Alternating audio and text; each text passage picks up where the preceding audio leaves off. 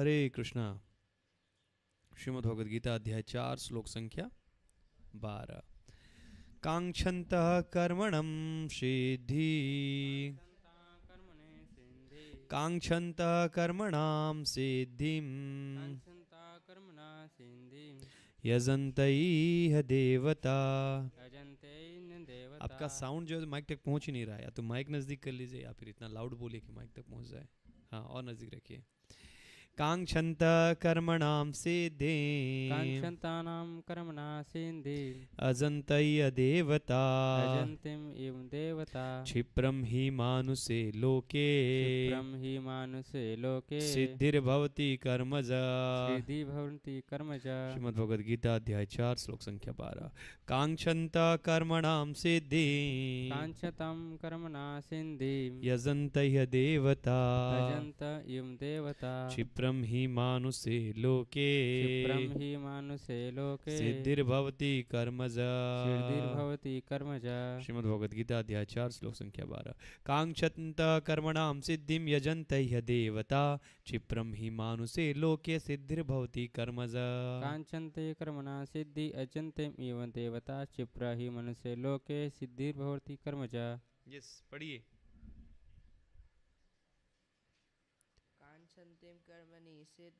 काञ्चन्तीं कर्मणि सिद्धिं। यजन्त एव च। यजंत ह्य देवता। क्षिप्रं हि मानुषे लोके। क्षिप्रम हि मानुषे लोके। अभवति कर्मज। सिद्धिर्भवति कर्मज। यस ऑनलाइन पढ़िए। कांक्षन्त कर्मणा सिद्धि यजन्ते इह देवता। क्षिप्रं हि मनुष्यो लोके। सिद्धिं भवति कर्मजम् वेरी गुड प्रभु जी और कोई भक्त पढ़िए? हरे कृष्ण प्रभु जी कांक्षन्तं कर्मणां सिद्धि यजन्त ये देवता क्षिप्रं हि मानुषे लोके सिद्धिर्भवति कर्मज। हरे कृष्ण। हरे कृष्ण। नेक्स्ट हरे कृष्ण। काञ्छन्तः कर्मणां सिद्धिं यजन्त इह देवता क्षिप्रं हि मानुषे लोके सिद्धिर्भवति कर्मजा। Very good Hare Krishna next Hare Krishna Hare Hare Krishna Hare प्रभु जी यस ब्रो कांक्षांत कर्मणा सिद्धिं यजन्त य देवता क्षिप्रं हि मनुष्ये लोके सिद्धिर्भवति कर्मजा यस नेक्स्ट हरे कृष्ण प्रभु दंडवत दंडवत कांक्षन्त कर्मणां सिद्धिं यजन्तं इह देवता हि मानुषे लोके सिद्धिर्भवति कर्मजा हरे कृष्ण। कांक्षिता कर्मणां सिद्धि यजन्त इह देवता क्षिप्रं हि मनुष्य लोके सिद्धि भवति कर्मजा हरे कृष्ण। हरे कृष्ण नेक्स्ट हरे कृष्ण प्रभु जी दंडवत प्रणाम। कांचन तम कर्मणम सिद्धिम यजन्ते ये देवता क्षिप्रम ही मानुषे लोके सिद्धि भवति कर्म हरे कृष्ण। गुड हरे कृष्ण। और माता जी पढ़िए। कृष्ण प्रभु जी प्रणाम। कर्मणां सिद्धिं यजन्त इह देवता क्षिप्रं हि मानुषे लोके सिद्धिर्भवति कर्मज। हरे कृष्ण प्रभु जी हरे कृष्ण नेक्स्ट कृष्ण प्रभु जी दंडवत दंडवत। कांक्षन्ता कर्मणं यज्ञेता देवता क्षिप्रं हि मनुष्यलोके सिद्धिर्भवति कर्मजा। हरे कृष्ण प्रभु जी दंडवत हरे कृष्ण प्रभु जी दंडवत प्रणाम दंडवत कांसतः कर्मणां सिद्धिं यजन्त इह देवता। क्षिप्रभि मानुषे लोके सिद्धिर्भवति कर्मजा। हरे कृष्ण प्रभु जी दंडवत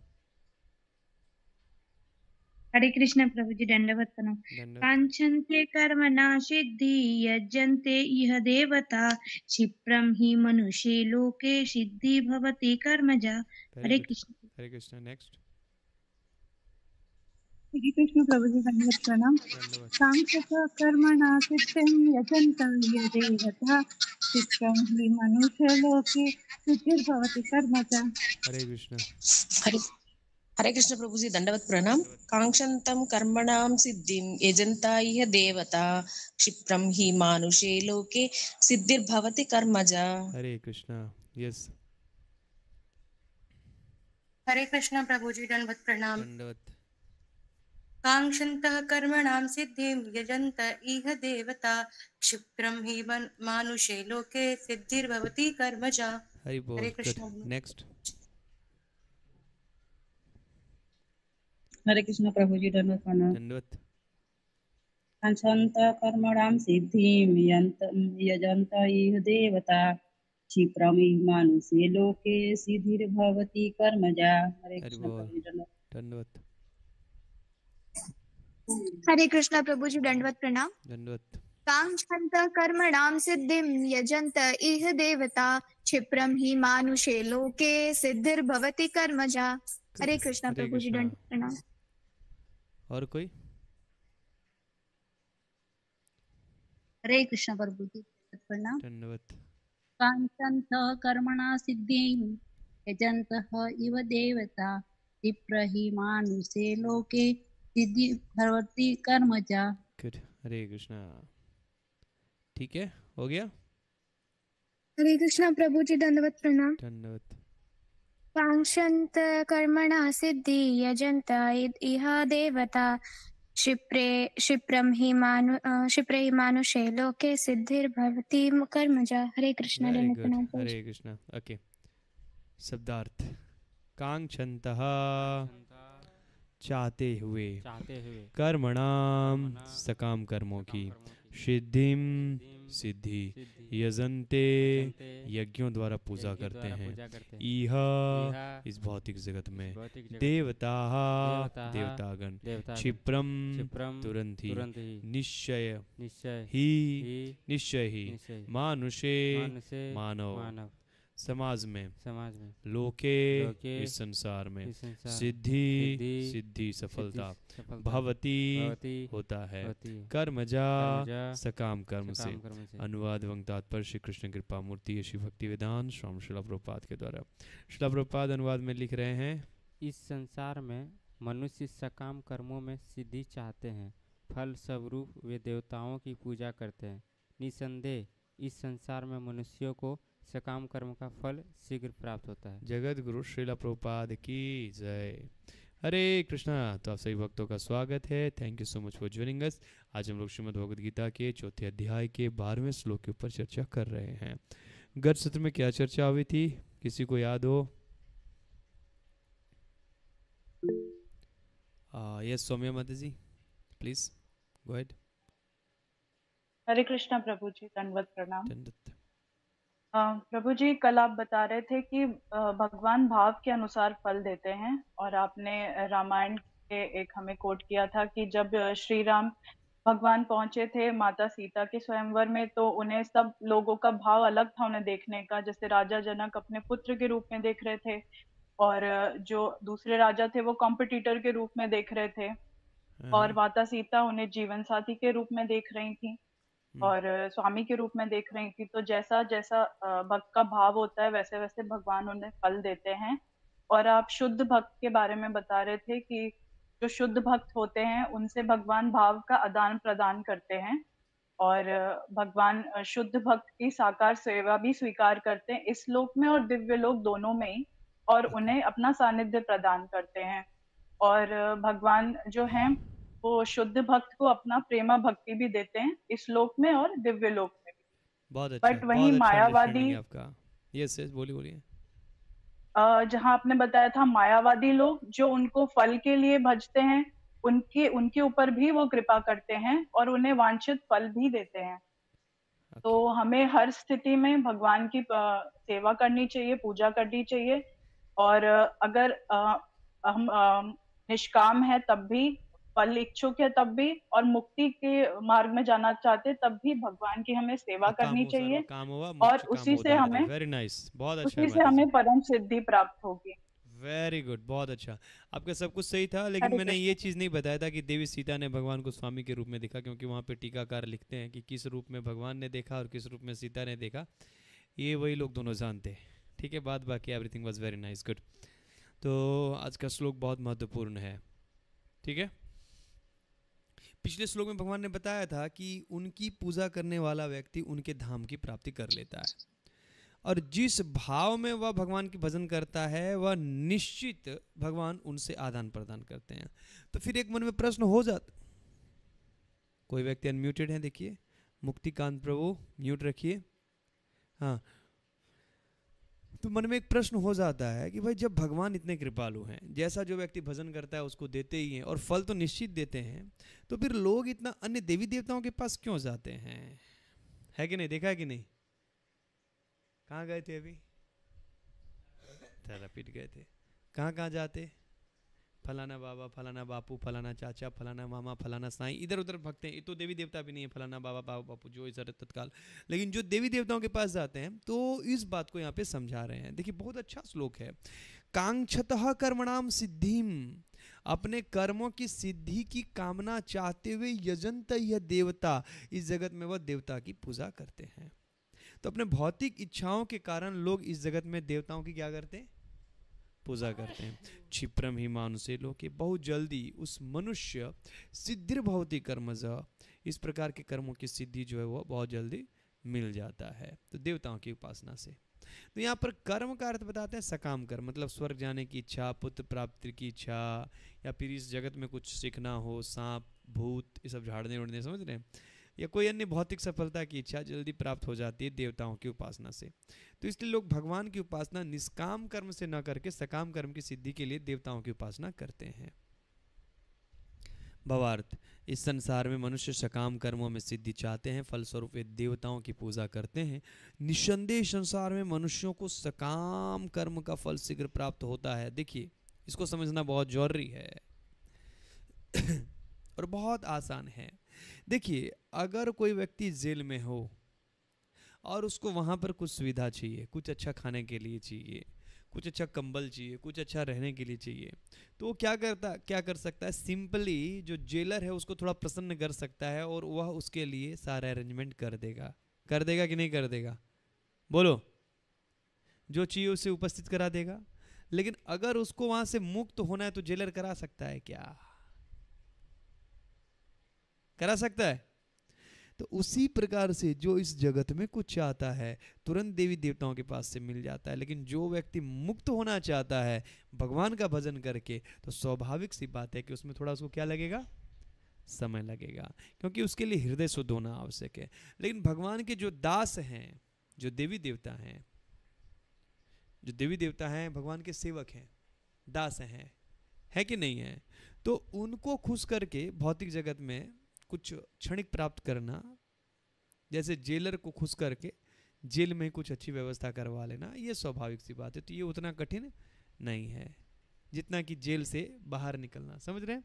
तो इस प्रकार से यहाँ जगत में सिद्धि प्राप्त हो जाती है और प्राय लोग इस जगत में मुक्त होने के बारे में नहीं सोच पाते हैं। वो चाहते हैं, नहीं, हम यहीं पे प्रसन्न हैं, कितना अच्छा मेरा लाइफ चल रहा है, ये बच्चे हैं, सब कुछ है, कितना अच्छा चल रहा है।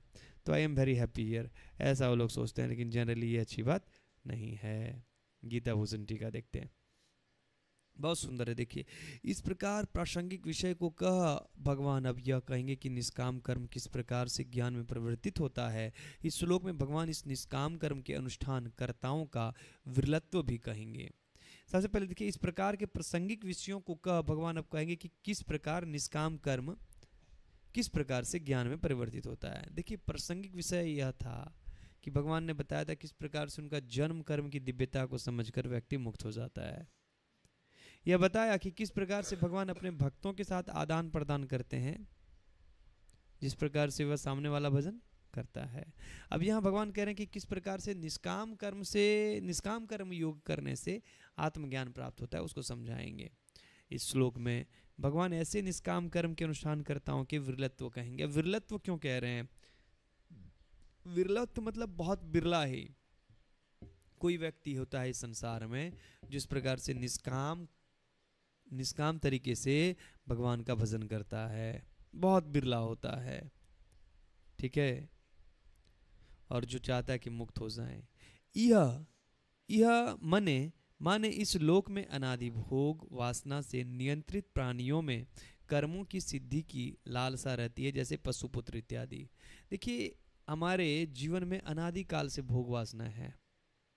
और ये भोग की वासना जो है, सो कब जीव भोग वासना से ग्रसित हुआ, इसको समझ पाना, इंगित करना बहुत मुश्किल है। समझ रहे हैं? भोग वासना में नियंत्रित का अर्थ क्या है? अब देखिए, समझिए इस बात को। क्या देख रहे? भोग वासना से नियंत्रित मतलब क्या हुआ? कि हमारे हृदय में भोग की वासना है और उसी वासना ने हमको क्या करके रखा है? कंट्रोल करके रखा हुआ है। और उसी के अनुसार से व्यक्ति क्या हो रहा है? इधर उधर भाग रहा है। अब नहीं देख पाते कि कोई व्यक्ति एक किसी विशिष्ट चीज़ के प्रति आकर्षित होता है? होता है कि नहीं? किसी को फोटोग्राफी का शौक है, किसी को पेंटिंग का शौक है, किसी को गाने का शौक है, किसी को खेलने का शौक है, किसी को दौड़ने का शौक है। तो वह भोग वासना की तृप्ति जो है उसके लिए होता है। तो उसके लिए शास्त्र उस, क्या कहते हैं, उस संबंधित देवताओं की उपासना के लिए बोलता है। तो अगर वह शास्त्र भी पढ़ता है, ध्यान रखिए, ऐसी अवस्था के साथ, समझिए बात को, अगर वह व्यक्ति जो भोग वासना से ग्रसित है, अगर वह शास्त्र भी पढ़ता है तो वह उस शास्त्र में यही ढूंढता है कि मेरी जो वासना है वो कैसे पूर्ण हो जाए, सफल हो जाए। तो अब शास्त्र तो सभी के लिए है वेद तो माता के समान है, आप जानते हैं। तो वह फिर उसको बताता है कि तुम फलाने देवताओं की उपासना कर दो तो वह करता है। ठीक है? पशु पुत्र इनकी प्राप्ति के लिए वे इंद्र आदि देवताओं की सकाम कर्मों के द्वारा पूजा करते हैं, जो अनित्य वस्तुएँ अल्प मात्रा में प्रदान करते हैं। वे मेरी पूजा नहीं करते हैं, जो सभी देवों के ईश्वर हैं और जो उनके निष्काम कर्मों के संपादन करने के कारण उन्हें नित्य आनंद प्रदान कर सकता है। यह बहुत महत्वपूर्ण बात है। देखिए, वह इंद्र इत्यादि देवताओं की पूजा करते हैं, जो अनित्य वस्तुएँ देती हैं। देखिए, इस जगत की कोई भौतिक वस्तु जो है, वह पहले नहीं थी। थी।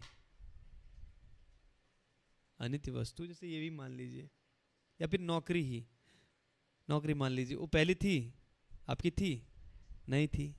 बीच में है और फिर आगे ख़त्म हो जाएगी। तो एक कारण से कहा जा सकता है कि नहीं है, अभी भी नहीं है। तो इस कारण से वो हमको सुख नहीं दे सकती। अगर मिलता भी है तो बहुत थोड़ा सा सुख दे सकता है। अब देखिए ना, हम ये जब चर्चा हो रहा जब मैं पढ़ रहा था तो मैं सोच रहा था एसी के विषय में एयर कंडीशनर अब देखिए एयर कंडीशनर से कितना सुख मिलता है? बहुत ज़्यादा सुख मिलता है क्या? थोड़ा सा सुख मिलता है और उसके लिए मेहनत कितनी करनी पड़ती है? पहले तो बहुत सारा धन लगता है। और धन लगने के बाद वह थोड़ा सुख देता है तो वो भी सुख क्या फ्री में नहीं आता है। धन तो खरीदने में लगा ही, और उसके बाद मंथली धन देना पड़ता है, उसके बिल के रूप में इलेक्ट्रिसिटी बिल के रूप में। और धन, उसे सुख कितना मिलता है? थोड़ा सा और वो भी, वो खराब ही करने वाला होता है हमारे शरीर को। आप समझ रहे हैं? तो ये स्थिति है। समझ रहे हैं? तो इसलिए कहा जाता है। तो मैं खैर इधर ले लिया, लेकिन ऐसा कहा जाता है कि अगर आप देवताओं को एक पहाड़ के समान देंगे तो वह रिटर्न में आपको क्या देंगे? एक सरसों के समान देंगे। और वही हम लोगों को लगता है कि बहुत है। जैसे रावण ने दस सिर अर्पित किया यज्ञ में, तब उनको क्या मिला? सोने की लंका मिला। लेकिन वही लंका विभीषण जी को कैसे मिला? भगवान को प्रणाम करने मात्र से मिल गया। मालूम है ना? केवल और केवल भगवान को प्रणाम किया और भगवान ने कह दिया, लंकेश, बस। भगवान थोड़ा सा लेते हैं और देते कैसे हैं? यहाँ उल्टा है, देवी देवताओं को आप पहाड़ की तरह देंगे तो उनको सरसों की तरह रिटर्न देगा और भगवान को सरसों की तरह देंगे तो वो सुमेरु की तरह रिटर्न करेंगे। अब देखिए, अगर मैं भगवान कह रहा हूँ तो उसमें ध्यान रखिएगा नो डाउट मेरे भगवान कहने का एक ही अर्थ है, कृष्ण। समझ रहे आप वहाँ पे फिर ये मत लगाना प्रभु जी कोई भी भगवान चलेगा क्या? नहीं। ठीक है? तो भगवान कृष्ण सभी देवताओं के ईश्वर हैं और जब इस प्रकार से निष्काम भावना से भगवान का भजन कोई करता है तो भगवान उसे नित्य आनंद प्रदान करते हैं, असीमित आनंद प्रदान करते हैं और आनंद न लेकर के अल्प बुद्धि वाले लोग जो हैं वह अनित्य वस्तुओं के लिए जो अल्प मात्रा में प्रदान की जाती है, देवताओं के द्वारा उनका भजन करते हैं। ठीक है। अच्छा वह ऐसा क्यों करते हैं? तो कह रहे हैं, वह ऐसा इसलिए करते हैं क्योंकि निश्चित ही ऐसे सकाम कर्मों के फल शीघ्र ही प्राप्त हो जाते हैं। मुझको निष्काम कर्म के द्वारा जानकर जो मुक्ति प्राप्त होती है, उसमें समय लगता है। तो एक बार बहुत सारे लोग भगवान के पास जा रहे थे। भगवान से मांग रहे थे, यह चाहिए, वह चाहिए, भगवान दे रहे थे। एक व्यक्ति बहुत देर से खड़ा था। तो किसी ने भगवान से पूछा, प्रभु, इससे इतना प्रतीक्षा क्यों करवा रहे हैं? तो भगवान ने क्या कहा, ये व्यक्ति मेरा प्रेम चाहता है। तो अगर प्रेम चाहिए भगवान का तो पेशेंस तो रखना पड़ेगा ना। समझ रहे हैं? तो प्रेम के लिए समय लगता है, लेकिन अगर कोई छोटी मोटी सिद्धि चाहिए, भूत भगाना सीखना है, ऐसे मिल जाएगा। सांप का जहर उतारने के लिए सीखना है। तुम्हारे घर में क्या चल रहा है, ये जानने के लिए सीखना है। तुम्हारे घर में कितने लोग हैं, ये जानने के लिए सीखना है। तुम्हारे क्या बीमारी है, ये जानने के लिए सीखना है। ये सब तो ऐसे मिल जाएगा। बहुत आसानी से मिल जाता है। ठीक है? उन सभी मनुष्यों का, जिनका भोग वासना से सद और असद का विवेक ग्रसत, ग्रस्त हो गया है और जो शीघ्र भोग इच्छा पूर्ति का वर चाहता है, वे मेरी भृत्यों अर्थात देवताओं की उस अर्थ के लिए पूजा करते हैं। सद और असत समझिए। सद मतलब शाश्वत और असद मतलब अशाश्वत, अनित्य। तो सद और असद का विवेक का अर्थ यह हुआ कि इस कार्य को कर रहा हूँ तो इससे मुझे शाश्वत लाभ प्राप्त होगा। मैं भगवत गीता पढ़ रहा हूँ, भागवतम पढ़ रहा हूँ तो इससे मुझे शाश्वत लाभ प्राप्त होगा कि नहीं होगा? होगा। और फिजिक्स, केमिस्ट्री, मैथ? अशाश्वत। लेकिन किसके लिए ज़्यादा मेहनत कर रहे हैं?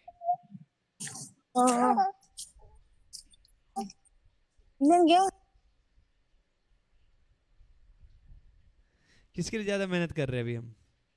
फिजिक्स केमिस्ट्री मैथ के लिए। हम्म? अभी देखिए, हम लोग कहाँ जा रहे हैं? अयोध्या जा रहे हैं। तो लोगों के पास बहुत बहाने हैं। प्रभु जी, बहुत गर्मी है। प्रभु जी काम है। प्रभु जी, ये है। प्रभु जी, वो है। लेकिन वही लोगों को गोवा जाने के लिए बोलो, तुरंत रेडी या फिर, साले की शादी है। चार दिन पहले जाकर के बैठ जाते हैं ससुराल में। और कोई काम नहीं है, लेकिन पनीर वाले के पास जाकर बोलेंगे, पनीर में दस ग्राम तुमने इसमें ज़्यादा काट दिया। कम करो थोड़ा। समझ रहे हो? इस सब्ज़ी में मसाला कम डाला। कोई काम नहीं, उसको बुलाया भी नहीं है सब्ज़ी वाले के पास, लेकिन जाकर के बोलेगा। ये स्थिति है। वो असत चीज़ है। साले की शादी में जाना, परिवार में रहना, इतना ये सब वेस्ट हो जाएगा, ख़त्म हो जाएगा। लेकिन क्या बोला? अयोध्या जाना है तो? प्रभु जी कैसे जाएँगे? छोटा बच्चा है। बच्चा बहुत परेशान करता है।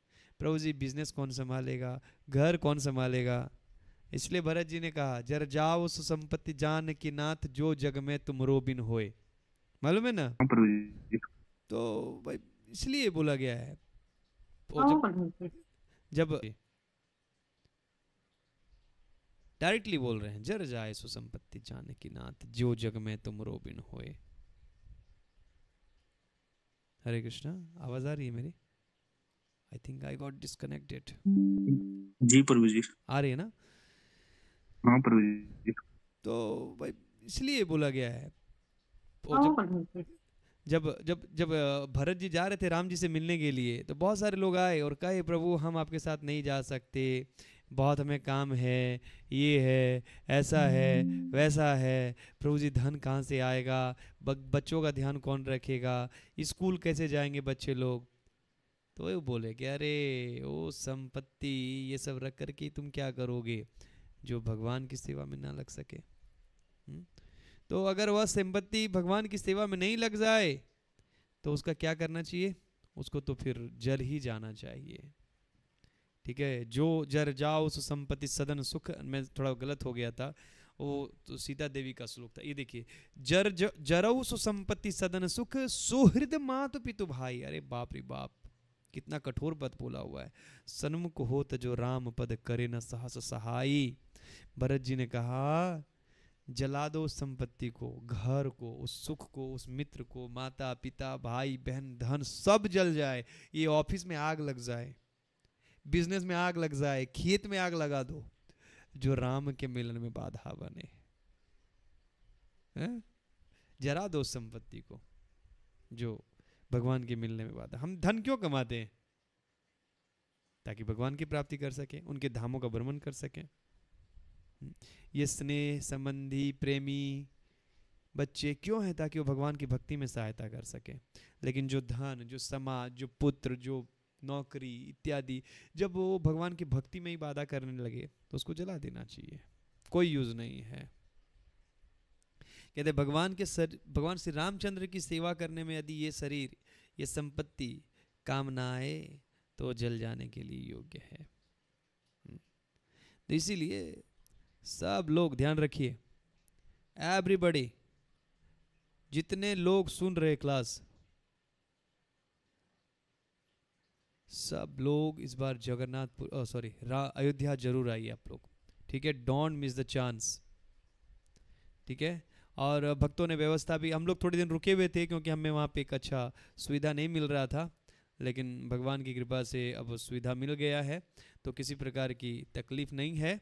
सो आप सबसे निवेदन है कि आप लोग ये मौका मत मिस करिए। और सबसे खास बात ये रहेगी, क्या खास बात है? खास बात ये है कि हम लोग वहाँ पे भगवान का कथा करने वाले हैं। ठीक है? पाँच दिन राम कथा चलेगी। उनतीस मई से तीन जून तक लगातार और दो दो सत्र में पूरा राम कथा सुनेंगे, जम करके। So don't miss the chance ठीक है? जिनका अभी तक टिकट नहीं हुआ है, वो लोग टिकट कराइए। जिनका, क्या कहते हैं उसको, जो अभी तक बुकिंग नहीं की वो बुकिंग कराइए। लेकिन जैसे भी हो पहुंचिए ज़रूर। ठीक है? सौम्या माता जी बच्चा बड़ा हो गया होगा अभी तक आपका। ठीक है? ज्योति रावत माता जी सब लोग मैं सबको बोल रहा हूँ I am not telling any special everybody ठीक है? मैं आप लोग से निवेदन कर रहा हूँ। अरे भगवान श्री रामचंद्र आए हैं। चलते हैं एक बार हम लोग। क्या कोई दिक्कत है जाने में? कोई दिक्कत नहीं है। ठीक है? प्रयास करिए please come everybody don't miss ठीक है? किसी भी स्थिति में मिस मत करिए। जब एकदम फांसी लगने वाली स्थिति हो जाए कि प्रोजी जाएँगे तो मारे जाएँगे, गला काट दिया जाएँगे, गला काट दिया जाएगा, वैसी स्थिति में भी निकल सकते हैं। मैं ऐसी स्थिति में भी मना नहीं करने वाला हूँ। ठीक है आप लोगों को लगा हुआ कि प्रोजी बोलेंगे कि गला काटने वाली स्थिति में बोलेंगे, रुक जाइए। लेकिन मैं ऐसी स्थिति में भी मना नहीं करने वाला हूँ। ठीक है, अगर मैं आपको सच बात बताऊँ तो मैं पिछले साल की एक घटना बताता हूँ। अब मेरे साथ हुई। छोड़िए नहीं बताऊँगा नहीं बताऊँगा तो आप लोग बोलेंगे प्रोजी है ना मालूम है ना। चलो ठीक है बाद में कहीं बताऊँगा। ठीक है। So don't miss the chance we will go to क्योंकि वो सद स्थान है। आप अयोध्या जाएँगे वो कभी मिस नहीं होगा। अरे आज मैं एक भक्त का कथा सुन रहा था आपको छोटा सा सुना ही देता हूँ, मेरे मन में आ गया। तो उनको बड़ी राम जी के प्रति श्रद्धा थी और वह भगवान का नाम जप किया करते थे। और वृंदावन में रहते थे एक साल। राम जी के भगत थे, लेकिन रहते थे वृंदावन में। और फिर वह रामनवमी के टाइम में अयोध्या जाया करते थे। तो कहते हैं, उनका शरीर अब पूरा होने वाला था तो बहुत तबीयत खराब हो गया, नहीं जा पा रहे थे। तो किसी सहारे वह अयोध्या पहुँच गए। कहते हैं, सरयू में स्नान किए। स्नान किए और फिर जब करने के लिए बैठे। भगवान को भोग लगाया मौसमी का और मौसमी निकाला। उसका एक फड़का होता है ना, वो चूसा, रखा उसको। और जो उनके असिस्टेंट था, उनको बोला, मैं जा रहा हूँ रामनवमी मनाने के लिए। और नाम जब करते करते उन्होंने शरीर छोड़ दिया।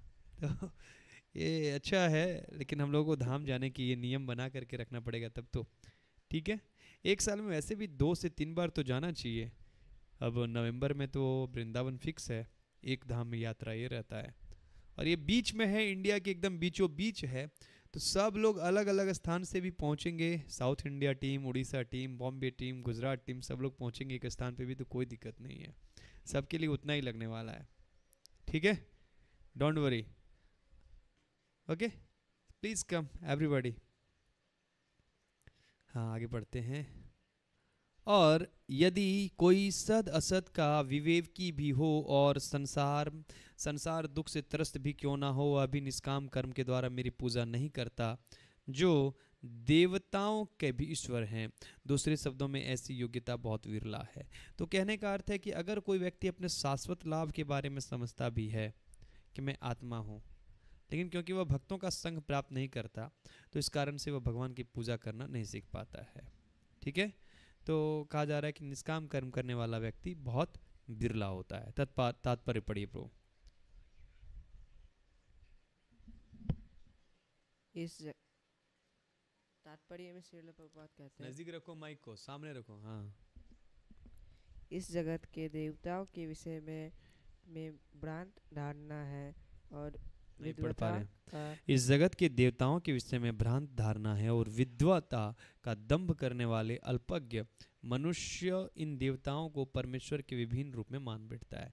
दंभ का अर्थ क्या है? देखिए हमारे अंदर वह गुण नहीं है लेकिन हम उनको प्रदर्शित करते हैं। और हम सोचते हैं कि जब तक लोगों को पता नहीं है तब तक बहुत अच्छा बात है। कोई दिक्कत नहीं है। तो प्राय लोग इस जगत में सोचते हैं कि देवताओं, देवता जो हैं, वही परमेश्वर का एक रूप है और परमेश्वर कोई अलग नहीं है। सभी देवता ही परमेश्वर हैं। तो यह बहुत बड़ी मूर्खता है। क्योंकि अगर हम कहें कि परमेश्वर मतलब जो सभी के क्या है? परम ईश्वर हैं। तो वह एक व्यक्ति तो एक ही ना होगा। हर एक व्यक्ति तो परमेश्वर नहीं हो सकता। यस वस्तुतः ये देवता ईश्वर के विभिन्न रूप नहीं होते, किंतु वे ईश्वर के विभिन्न अंश होते हैं। भगवान कृष्ण अपने आप को विभिन्न रूप में विस्तारित करते हैं, जैसे राम, वरा, नरसिंह इत्यादि। तो वहाँ पर रूप है और वहाँ, यहाँ पर कहा जा रहा है, भगवान के वो, वहाँ पे भगवान के समान शक्तिशाली होते हैं। लेकिन प्राय जो देवता हैं, वह क्या है? जीवात्मा है, जो भगवान के द्वारा शक्ति प्रदत्त है। विशेष शक्ति प्रदत्त है। जैसे कि इस संसार में जो डीएम है, वह मनुष्य है कि नहीं है? वह भी एक साधारण मनुष्य है या नहीं है? जो डीएम है। है है। है ना? लेकिन सरकार के द्वारा विशेष शक्ति प्रदत्त है राइट जी है ना? हाँ, विशेष कार्य करने के लिए बहुत आसान है ये देवी देवताओं के फिलॉसफी समझना। तो उसी प्रकार से देवता भी जीवात्मा होते हैं लेकिन पुण्य आत्मा होने के कारण भगवान के द्वारा शक्ति प्रदात है। जैसे मनुष्य है साधारण मनुष्य लेकिन उसमें कुछ स्पेशल गुण है तभी वो डीएम बना हुआ है। उसी प्रकार से ये भी जीवात्मा है लेकिन कुछ स्पेशल गुण होने के कारण भगवान करते हैं। ईश्वर तो एक हैं, किंतु अंश अनेक हैं। सभी जीवात्मा नित्य हैं और भगवान भी नित्य हैं, लेकिन उन सभी नित्यों में से एक नित्य है कौन? भगवान कृष्ण। जिनके ऊपर अन्य नित्यों की सत्ता भी आश्रित होती है, वह भगवान ईश्वर एक है और वह कौन है? कृष्ण। नित्यो नित्यानाम ईश्वर एक हैं। ठीक है? अब आगे कह रहे हैं, ईश्वर परम कृष्ण। कृष्ण ही एकमात्र परमेश्वर हैं और सभी देवताओं को इस भौतिक जगत का प्रबंध करने के लिए शक्तियाँ प्राप्त हैं। ये ये देवात्माएँ जीवात्माएँ हैं जीवात्माएँ हैं जिन्हें विभिन्न मात्रा में भौतिक शक्ति प्राप्त है। वे कभी परमेश्वर नारायण विष्णु या कृष्ण की तुल्य नहीं हो सकते। जो जो व्यक्ति ईश्वर तथा देवताओं के एक स्तर पर सोचता है वह नास्तिक या पाषंडी कहलाता है। पाखंडी है कि पाषंडी है? देखिए तो बुक में। ठीक है देखिए पाषंडी लिखा हुआ है पाषंडी ओके। क्यों नास्तिक कहा जाता है मालूम है? आप कह सकते हैं प्रभु वो देवी देवताओं को तो मान रहा है तो फिर आप नास्तिक उन्हें क्यों कह रहे हैं? मैं नहीं कह रहा हूँ। समझिए अगर कोई व्यक्ति कहे कि हर एक व्यक्ति भगवान का प्रधानमंत्री है। तो वस्तुतः यह वह यह कहना चाह रहा है कि कोई प्रधानमंत्री नहीं है। हम भी प्रधानमंत्री तुम भी प्रधानमंत्री ये भी प्रधानमंत्री ये भी प्रधानमंत्री वो भी प्रधानमंत्री। वास्तव में प्रधानमंत्री कौन है? इट मीन्स उसका अंडरस्टैंडिंग के अनुसार से कोई प्रधानमंत्री है ही नहीं। समझ रहे बातों को? तो ऐसा व्यक्ति मूर्ख है। या फिर कुछ लोग कहते हैं अरे जिसको मान लो वही पर, वही भगवान है। तब तो आपको भगवान मान लिए, इसको भगवान मान लिए, इसको भगवान मान लिए। हर एक व्यक्ति भगवान, माइक भी भगवान हो जाएगा। हैं? अब जैसे सूर्य तो एक ही है ना, बल्ब जो है उसको कहेंगे, नहीं, ये देखो सूर्य है, देखो, ये बड़ा बड़ा वाला जो छाता लगा ये सूर्य है। है सूर्य ये? नहीं है। हाँ उसका प्रकाश सूर्य से ही उसको मिल रहा है, और सूर्य, प्रकाश सूर्य से ही है। लेकिन इसका अर्थ यह नहीं कि वह सूर्य हो गया। यहाँ तक कि ब्रह्मा तथा शिव जी जैसे बड़े बड़े देवता भी परमेश्वर की समता नहीं कर सकते। वास्तव में ब्रह्मा तथा शिव जैसे देवताओं द्वारा भगवान की पूजा की जाती है और शिव विरंचिन शिव विरंचिन उत्तमम, उत, अनुत्तम। तो भी आश्चर्य की बात यह है कि अनेक मूर्ख लोग मनुष्यों के नेताओं की पूजा उन्हें अवतार मानकर करते हैं। यही होता है। भागवतम नहीं पढ़ने के कारण लोग नहीं समझ पाते हैं। ब्रह्मा जी और शिव जी भी जिनकी चरणों में प्रणाम करते हैं वह है भगवान कृष्ण। और ऐसे मूर्ख लोग इस जगत में मरणशील देवताओं की पूजा करते हैं और जो कुछ समय के बाद मर जाएँगे। जो अपनी रक्षा नहीं कर सकते, ऐसे लोग, की पूजा अर्चना करके क्या फ़ायदा होगा, क्या लाभ मिल सकता है? ठीक है? लेकिन ठीक है, अपमान नहीं करना चाहिए। यह देवता पद इस संसार के शक्तिशाली मनुष्य या देवता के लिए आया है, लेकिन नारायण, विष्णु या कृष्ण जैसे भगवान इस संसार के नहीं है। यह देवता बता रहे हैं, यह शब्द से इंडिकेट किया जा रहा है, यह देवता, इस संसार के देवता प्रपा जी इस जगत के देवता भी, कि जगत से ही आए हैं। वह भी बंदी हैं, मुक्त पुरुष नहीं हैं, लेकिन भगवान कृष्ण इस जगत से परे हैं।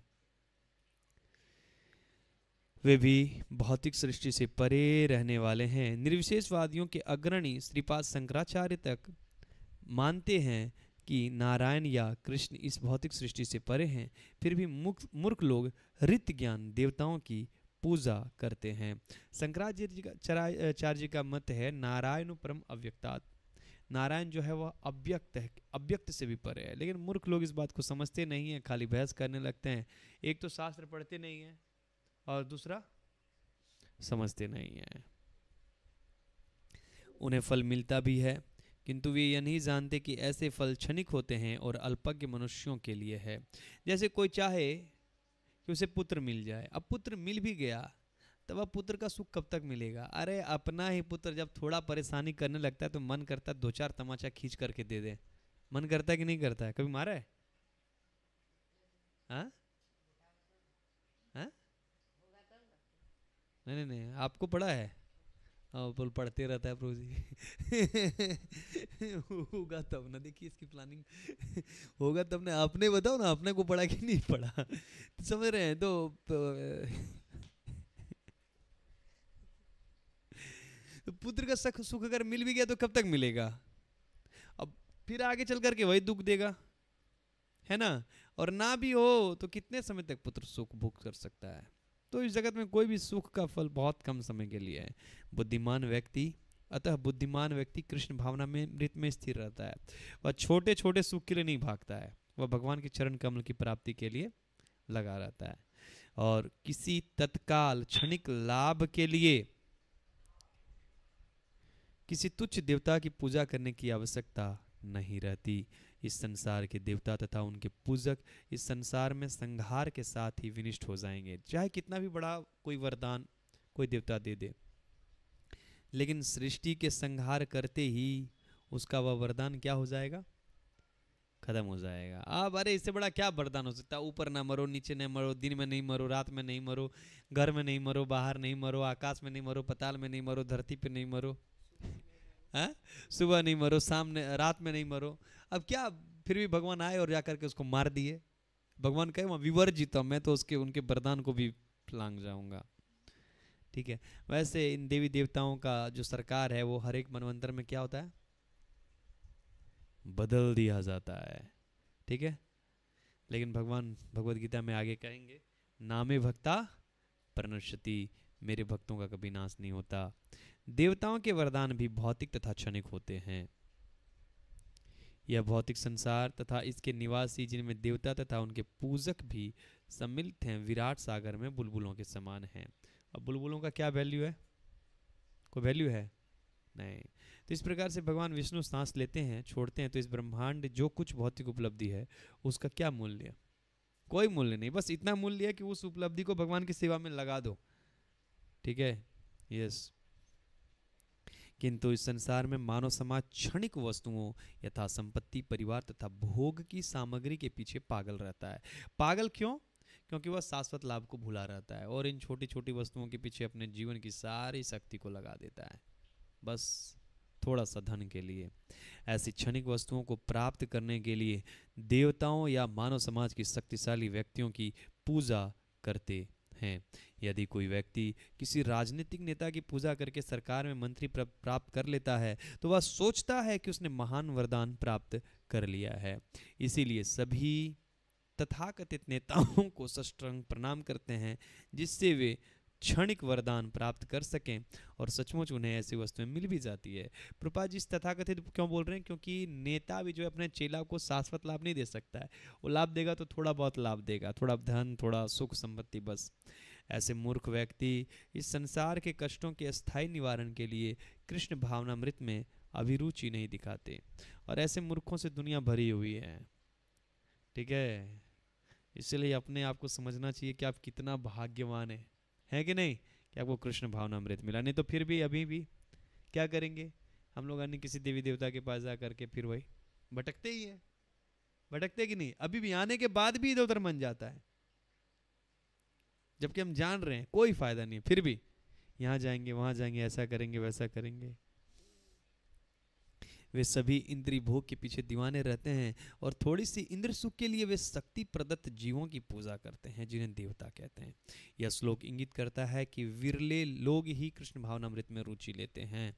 अधिकांश लोग, देखिए, आप कितना बिरला हैं, कितना, देख पा रहे हैं, कितना महत्वपूर्ण है। अधिकांश लोग भौतिक भोग में रुचि लेते हैं, फलस्वरूप वे किसी न किसी शक्तिशाली व्यक्ति की पूजा करते हैं। समझ रहे हैं? कितना महत्वपूर्ण है आप लोग भगवान के लिए? सोचिए कि भगवान ने आपको भक्तों का संग दिया, भगवान की भक्ति दिया। ठीक है? तो इसीलिए इस महत्वपूर्णता को समझना चाहिए और अपने जीवन में भगवान की भक्ति को रखना चाहिए। बहुत अच्छे तरीके से भक्ति करना चाहिए। ठीक है? हरे कृष्णा। जगत गुरु श्रीला प्रभुपाद की जय। निताय गो प्रेमानंदे हरि हरि बोल। आपसे भक्तों का बहुत बहुत धन्यवाद कि आप लोग क्लास में आए। किन्हीं का कोई प्रश्न है? हाँ?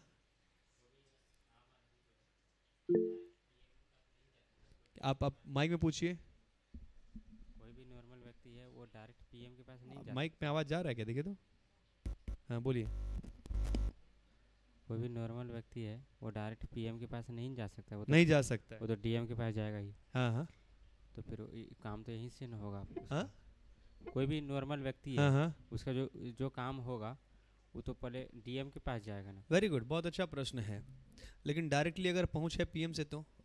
कोई भी सिंपल व्यक्ति डायरेक्ट पीएम के पास जाए नहीं रूल हाँ यही तो समझना है। भगवान ने बताया कि जो मेरे तक पहुँच रहा है वो तो बिरला है। तो अब सिंपल कहाँ है? मतलब कोई व्यक्ति वहाँ पहुँच भी गया वो पीएम से बात भी कर लिया हाँ।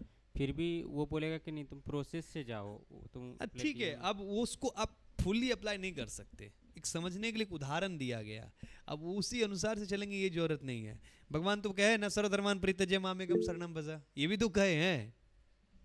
अब उसी अनुसार से हम जो यहाँ बहुत चीज़ एक ध्यान रखना चाहिए आध्यात्मिक जगत का छाया है भौतिक जगत। अब ऐसा नहीं कि सेम टू सेम रहेगा। ठीक है भगवान तो कहे हैं क्यों ज़रूरत है यहाँ पे जाने के लिए?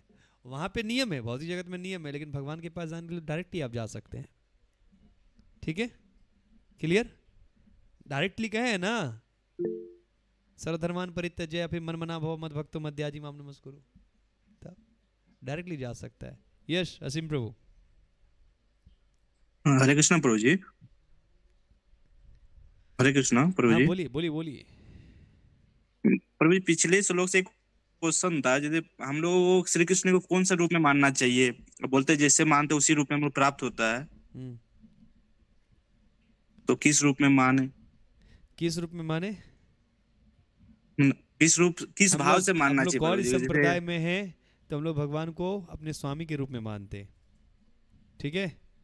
अच्छा तो हम लोग दास से दास से भाव में रहते अब अलग अलग भाव की यहाँ प्राप्ति होती है। जनरली युगल छवि की पूजा होती है। राधा श्याम सुंदर राधा गोविंद देव राधा माधव समझ रहे इस प्रकार से।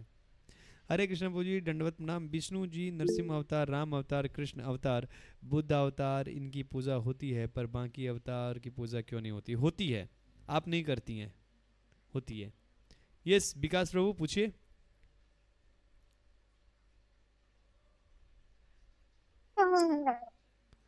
बोलिए। प्रभु जी प्रणाम। हाँ प्रणाम। बोलिए प्रभु जी।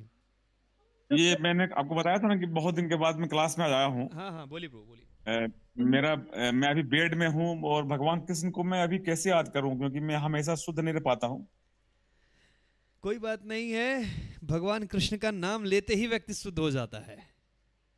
ठीक है? प्रभु जी पर प्रभु जी भगवान कृष्ण का एक जो श्लोक है मतलब ये है कृष्णाय वासुदेवाय हरे परमात्मने हाँ। प्रणता कृष्णासा गोविंदाय नमो नमः इस, इसका मैं मन ही मन करते रहता हूँ कोई दिक्कत नहीं उससे है? बेटर है कि आप हरे कृष्णा हरे कृष्णा कृष्ण कृष्ण हरे हरे हरे राम हरे राम राम राम हरे हरे ठीक है? इस महामंत्र का जप करें ये ज़्यादा अच्छा है ठीक है? कर- भागवतम का श्लोक है और ये भगवान का नाम है तो भगवान का नाम जो है सो हर समय हर क्षण व्यक्ति को शुद्ध करने वाला है उसका हृदय बाह्य और अंदर दोनों शुद्ध करने वाला है। ठीक है? और आप लेटे हुए भी हैं आप बीमार भी हैं तो भगवान के हम्म। नाम में ऐसा पावर है भगवान का एक अच्युत नाम में इस जगत के हज़ारों दवाइयों का पावर है। केवल और केवल एक भगवान के अच्युत नाम का। क्या बोले प्रभु जी? हरे कृष्ण हरे कृष्ण कृष्ण कृष्ण हरे हरे। हरे राम हरे राम राम राम हरे हरे ना? हाँ हरे कृष्ण महामंत्र। ठीक है? ठीक ठीक। ओके और गीता को मैं कभी भी पढ़ सकता हूँ। गीता पढ़ सकते गीता सुन सकते। ओके ब्रो ओके हरे हाँ। कृष्ण। और किन्हीं का कोई प्रश्न नहीं है? सो नाम स्टॉपिंग हियर श्रीमद् भगवत गीता यथा रूप की जय। दम्भ मतलब होता है दिखावा करना। जो नहीं है उसका दिखावा करना। ठीक है I am stopping here Shrimad Bhagavad Gita Yatha Roop की जय। जगत गुरुशला प्रपात की जय। निताय गो प्रेमानंदे हरि हरि बोल।